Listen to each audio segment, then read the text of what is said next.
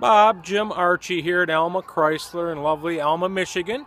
Just here to congratulate you on your new Wrangler, and I appreciate the business. If there's anything I can do for you or Tony in the service and parts here can help you with, please feel free to call or stop by.